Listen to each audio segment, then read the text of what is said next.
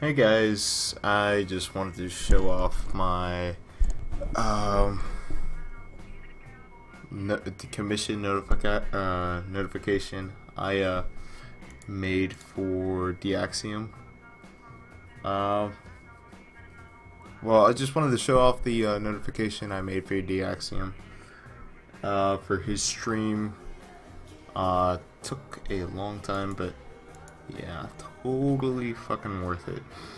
Just so you guys can see the end result. It's kind of hard to, you know, send it this type of thing as a image and post it on there. So I decided to just make a YouTube video. For the record, uh, this image is 10, it has, let's see, it's 1080 pixels tall. It's as tall as the stream. That's so, and that's just because Mega Man drops from the very top of the string to the very bottom, lands on that platform, and then starts shooting at the uh, username.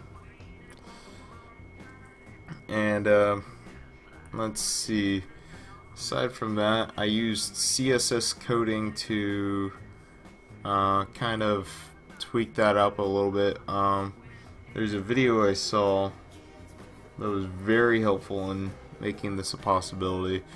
Uh, other than that, you know, Deaxiom probably didn't even ask for this much, but uh, my imagination did get carried away a bit because he asked for like Mega Man to beat down and all that. Um, and I thought a little banner would be not that cool, for you know, it wouldn't be. I don't know.